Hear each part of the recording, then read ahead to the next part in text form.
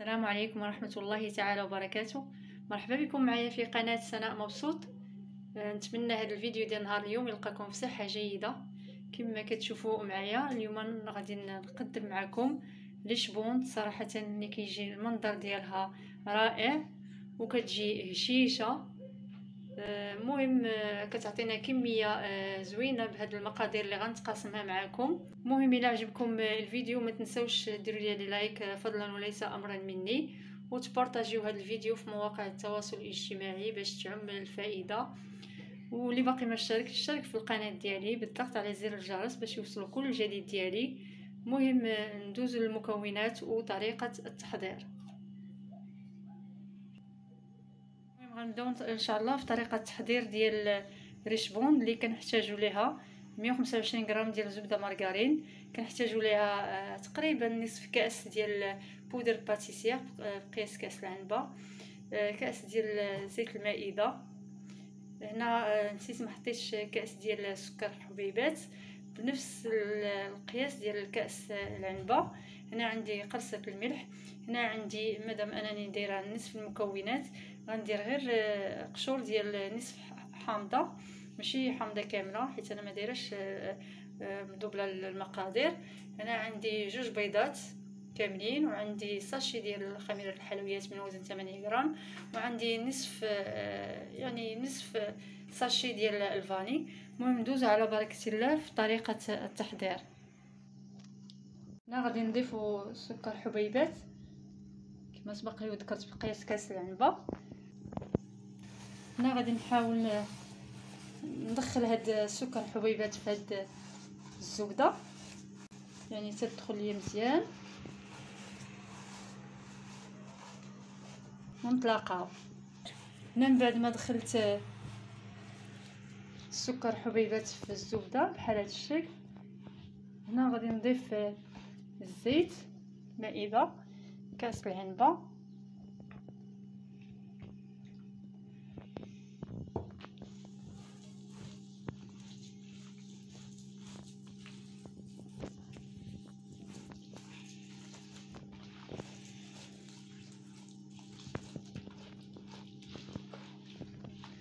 هكا غادي نخدمو.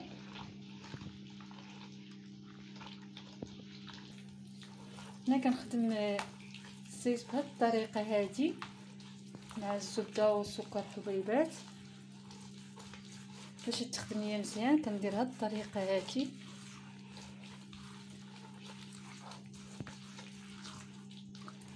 بالكف ديالي كنبقى مستمرة بحال هكا.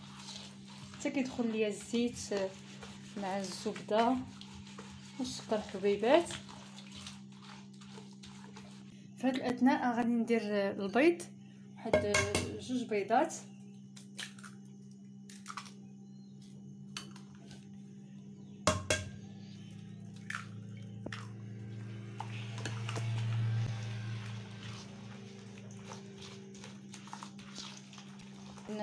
نحاول ندمج البيض مع هذا الخليط اللي عندي. صافي وفي هاد الأثناء غادي ندير واحد القبصه ديال الملح وغادي ندير قشور ديال نصف حامضة حيت أنا عندي غير نصف المكونات.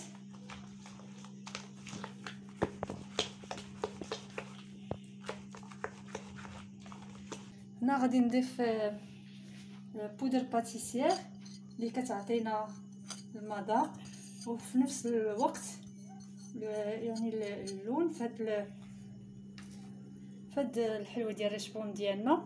هنا غادي نضيف سكر vanille. هنا غادي نضيف نصف sachet ديال سكر vanille. وغادي نخلط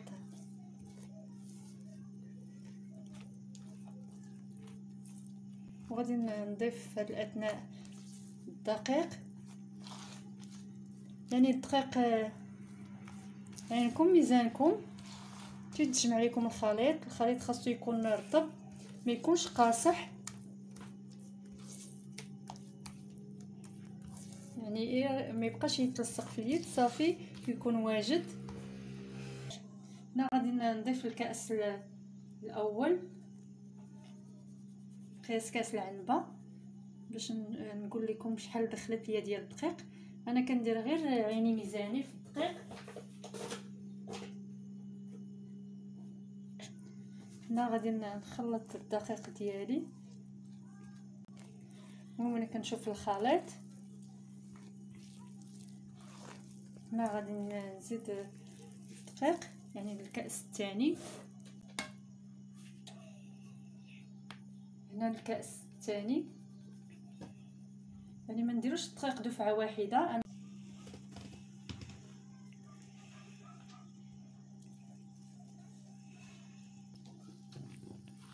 هنا مازال مازال خاصها الدقيق. غادي نضيفو. هنا غادي نضيف الكأس الثالث.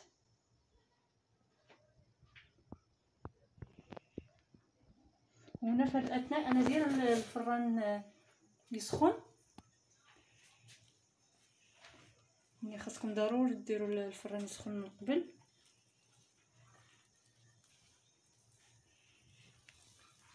هنا كما كتشوفوا باقا ليا الضبا باقا ما تجمعاتش في الأثناء غندير ساشي ديال خميرة الحلويات. من وزن 8 غرام غادي نغربلها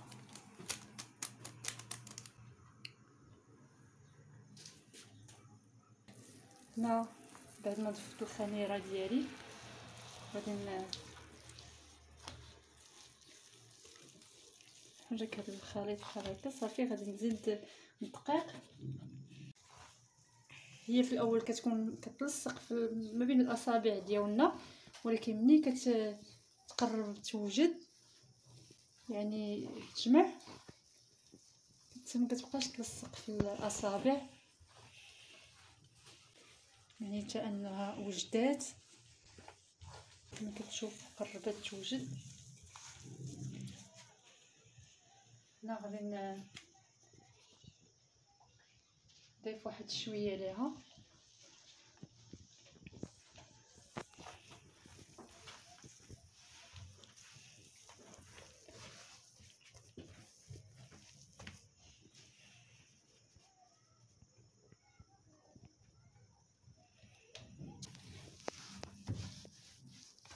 تجمع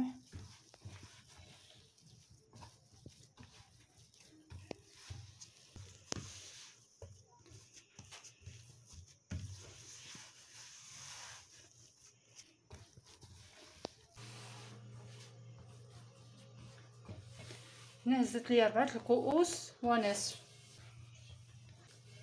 كما كتشوفوا آه، الشكل ديالها جا بحال هكا. يعني ما كتلصقش في الأصابع ديالنا و كتجي بحال هكا يعني مرملة. صافي هنا غادي نوجد لاطه الفران ديالي كيسخن. غادي نوجد لاطه آه، فيها بابي سيلفريزي ونطلقها غادي ناخذ آه، نكور العجين ديالي. كويرات بحجم صغير حيت غادي ندير وحدة فوق وحدة. المهم يكونوا الكريات متساويين. أنا غادي ناخذ هنا عباري في يدي. المهم تقريبا واحد عشرة غرام. شوفوا نتوما على حساب عينكم ميزانكم. إلا بغيتو ديروهم كبار غت يعني غتكبروا على هذا الحجم هذا غتزيدوا عليه. بغيتو ديروهم فرديين. المهم كنبقى كندير الكويرات ديالي بحال هكا. وأنا كنكون مسخنة الفران من قبل. يعني غادي ندخلهم يطيبوا من التحت. متكونش مجهدة عليها بزاف. من بعد نشوفهم يقربوا يوجدوا صافي كنهبطهم لتحت غير يتح... غير يذهبوا من الفوق من الوجه ديالهم. ما خاصهمش يتحمروا لينا يعني يقصاحوا صافي كنبقى مستمرة. كندير الكويرات ديالي بهذا الشكل هذا كما كتشوفوا في اللاطه المهم ما نطولش عليكم الفيديو كنكور في الكويرات ديالي تنطلقها من الكمية اللي حصلنا عليها. يعني في هذا النص ديال المقادير.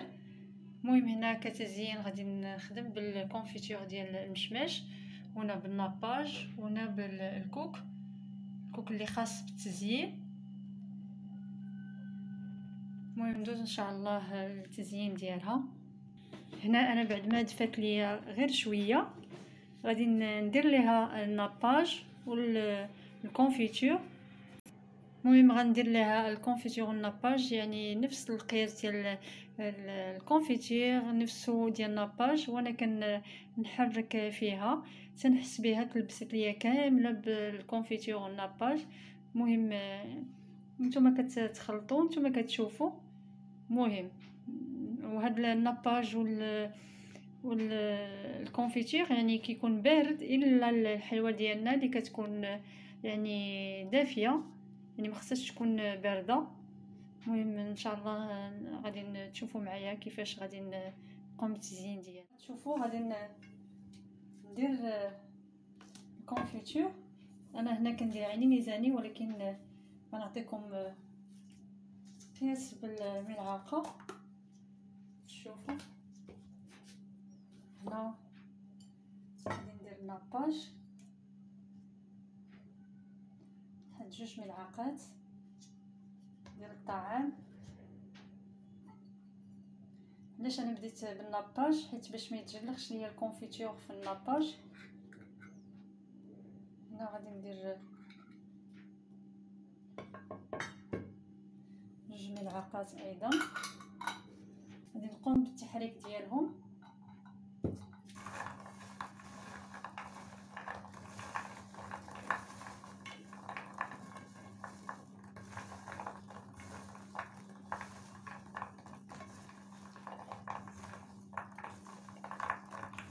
مازال ناباج الكونفيتور.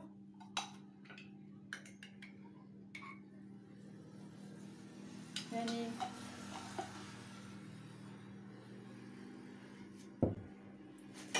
نضيفو بنفس القياس كنا كنشوفو.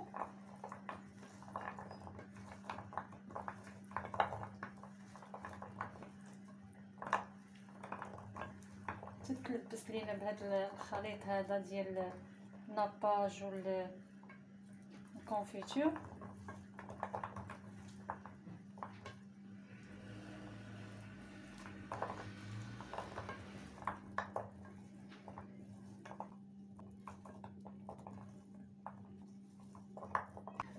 صافي غادي نحبس يعني غنزيدهاش مازال. صافي كلها كما كتشوفوا.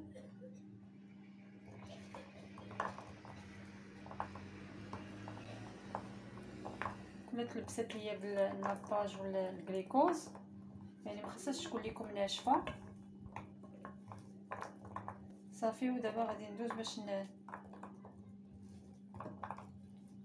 نفندها في الكوب.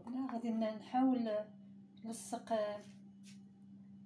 يعني كل جوج مع بعضياتهم وأنا كنحط بحال هكا نحاول نلصقهم. ما نخليش الكوك يجي الوسط ديالهم.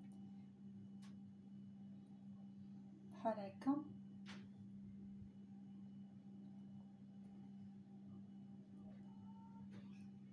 هنا كنحاولوا نجيبوا كل وحدة قد الأخرى باش يجيونا متساويين. كتشوفوا وهنا غادي نحاول نفندهم في الكوك. خاصني ضروري نمسح يدي باش هكا باش مي تخسرش ليا الكوك. كما كتشوفوا على هذا الشكل. كنحطها في شي طبق اللي نقدمو فيه. يعني نحاول نقادوها ما تديكالاش لينا يعني تباعد هكا ما غاديش تلصق لينا.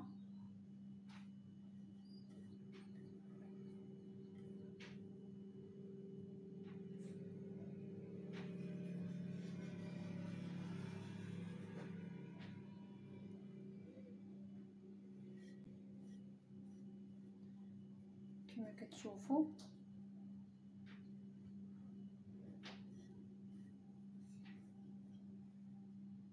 الشكل ديالها كيجي جميل صراحة. الجبون في طبق التقديم كما كتشوفوا كتجي على هذا الشكل بعد ما زيناها. كتجي رائعة والمذاق ديالها صدقوني. أنا زدت فيها واحد شوية الروح ديال بودر فاني اللي عطاها مذاق جميل مع داك القشور ديال الحامض اللي درنا فيها في الأول. المهم نتوما من الاحسن ديروا ولا ما كانش عندكم poudre vanille ممكن ديروا sachet ديال ال vanille المهم طريقة الاحتفاظ بها كنديروها في الثلاجه ما كنخليوهاش على برا هكا باش ما تخسرش لينا. المهم آه، التذوق ديالها من الاحسن نخليوها تتبات. عاد باش نذوقوها هكا باش يعني كترطب لينا مع داك ال confiture وداك ال nappage يعني كي كيدخل فيها. يعني ماشي في النهار الأول نذوقوها. المهم ما تبخلوش عليا بلي لايك وبالبارطاج المهم خليتكم في أمان الله وإلى فيديو آخر إن شاء الله.